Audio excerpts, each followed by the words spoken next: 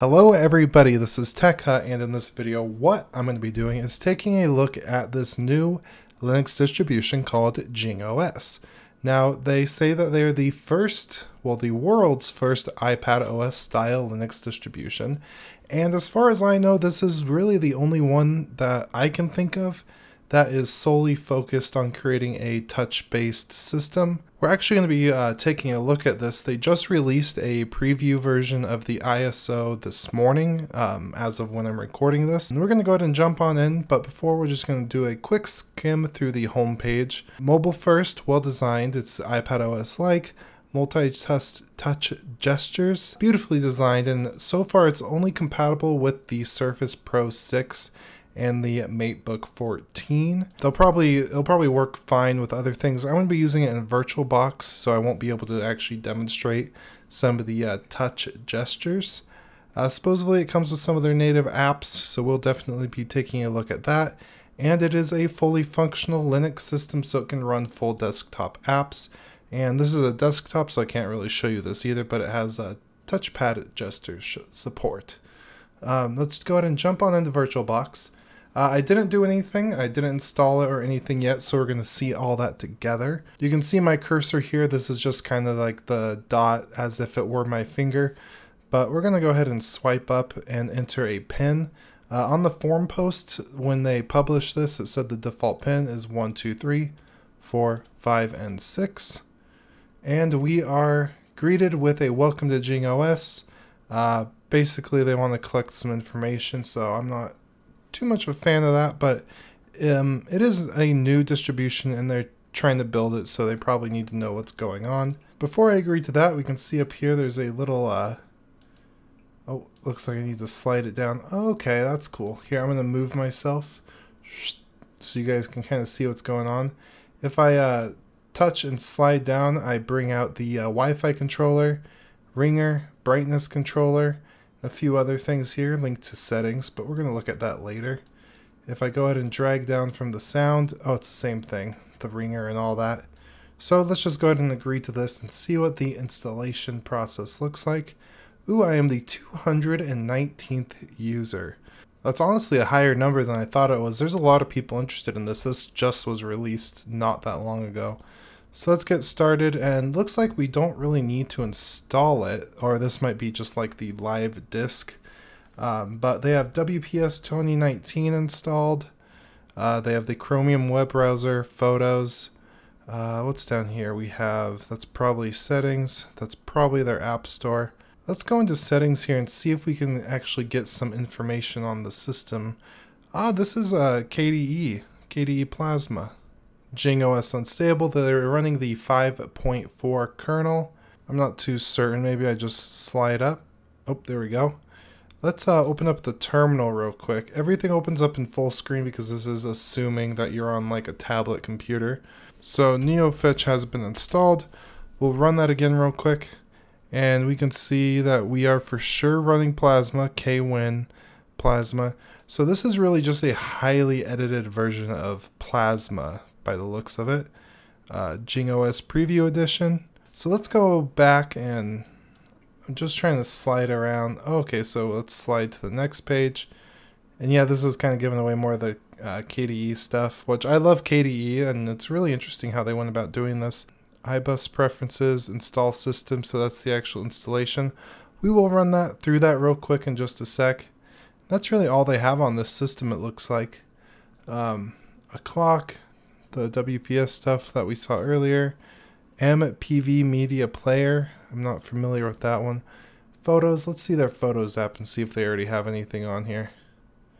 So just a little preview video. Looks like the background right here.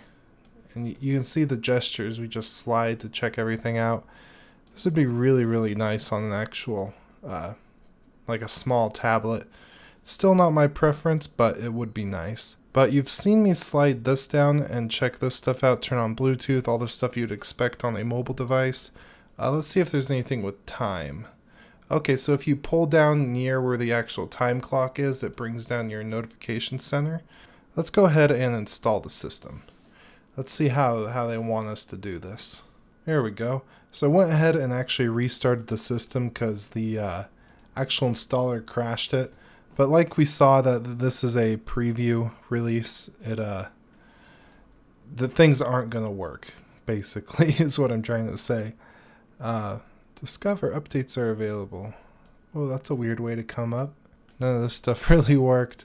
This this is definitely only a preview release. You're not gonna be doing any type of work in this. Uh, let's open up this MPV media player. See if it actually opens up here because this is the same kind of screen I got on the uh, installer. Um, Alright, so I went ahead and restarted. Let's go ahead and jump over to Firefox one more time. This is the actual um, forum post for the release. This is version 0.6 and uh, doesn't have the files application that I was just looking for. Uh, it says the features of this include the uh, desktop lock screen control center. You can use Discover, which is KDE App Store, and it includes their tablet apps of photos, which we saw, voice memos, media player, which didn't open, uh, calendar and calculator, touchpad gestures, world class uh, single instance. So yeah, it's not going to install. Um, touch driver optimize and system language only supports English. Um, and then we have the app list here, which we saw all that earlier. Well, as we were kind of scrolling through, KDE, system settings, terminal camera, file manager. That file manager is Dolphin. A WPS Office, Chromium browser, and then their specific uh, Jing applications. Let's jump over and check out the ones that we didn't take a look at real quick. So let's swipe up. One, two, three, four, five, six. I'm I'm liking the idea of this. This would be really if everything worked perfect and it had everything, and this was on a uh, touch-based machine. This is a great alternative to. Uh, this would be a great alternative to iOS. Uh, so photos, maybe this media player. Maybe I just tried one that wasn't going to work. Okay, so this one's working. This is good. Um, so we have a search functionality, uh, like, lately. Um, let's play this. Hopefully it doesn't play loud. It's laggy because it's on the virtual machine. But I do like how they have everything laid out here with the uh, how this works. Be very, very intuitive. Uh, we're not going to run through this video. You could download it and check out this uh, video if you'd like to. Uh, pause play functionality. If I swipe from any direction, nothing really happens. Uh, just tap this to go back and get back onto our desktop. So this MPV media player wasn't working well, but the their media player works well. Um, their calendar supposedly works, so it does. I love the animations that it provides. Um, let's make a mock event. So let's say we were going to uh, go to the doctors, and we're gonna do this. I, I really do like this application here or how they have the applications that are working thus far laid out. Let's say this is at 430. Check. See what that looks like, doctors. This looks just like the uh, Apple calendar, how Apple has theirs set up. So that's cool. Um, calculator. And this, I, I really hope it's not like that one distribution I checked out, the uh, Linux F FX where it's a complete ripoff. I really hope they're a little bit unique with it, with the same uh, iOS inspiration, but they don't go full board and just make a direct ripoff of the iPad. What else was there? Voice memos. This isn't probably gonna work. See, this looks better than the uh, the Apple Apple version. We have the naming here. You could play our voice memos. We can record voice memo. It's probably not going to hook up with my microphone properly. So we're not going to actually do that. But you just hit play and it plays through whatever these are. Uh, back, then let's check out their uh, clock application. Let's see if they have an alarm clock built into it. That'd be cool. Uh, ooh, they do add an alarm. Then no repeat label. So the what they do have working seems like it's going to actually work really really good, especially if they get it working on more systems other than those two laptops that I mentioned earlier. Like they mentioned, this is just a preview release, but I'm am really looking forward to how this project is going to progress. Um, you can download it here. I'll have this linked in the description so you could go ahead and actually download this. They do require that you give an email if you do want the preview edition. Uh, that's completely at your discretion. Um, it has a little guide on how to install it on the actual Surface uh, Surface Pro. Um, how to experience on a virtual machine. That's what we did. And this is where you get all the information like the default uh, passwords and pins and all that. So there'll be a link to this in the description if you want to go ahead and try it out. Like I said, I'm really excited to see what they actually do in the future. Um, right here, it looks like they have a link to their roadmap.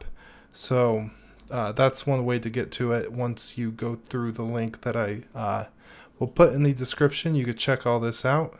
What we just looked at was the preview for the one, uh, well, 0.6 version, it says right here on March 31st, 2021, they're going to be releasing the actual Jing App Store, their settings, their file managers, and all that. So instead of just kind of pulling KDE stuff.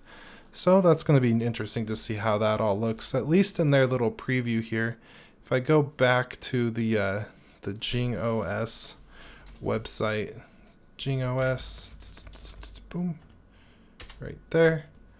Um, it looks really, really good how they have everything laid out.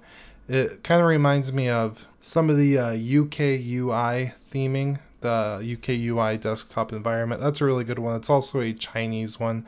This is a Chinese project, as you probably could tell by some of the Mandarin you've seen um, here and there. But that basically concludes this video. I just wanted to take a quick look at this, see what worked, see what didn't, and see if this is actually going in a uh, decent direction that actually makes me look forward to the development. And so far, based on this being their very first preview release that was put out today, um, I'm excited. But overall, that will conclude this video. I do hope you have a beautiful day. Uh, thank you to my Patreon subscribers for supporting my content. If you would like to become a Patreon, there'll be a link in the description. If not, that is more than fine. Liking this video, subscribing, and leaving a comment telling me what you think about JingOS would be more than enough. I hope you have a beautiful day, and goodbye.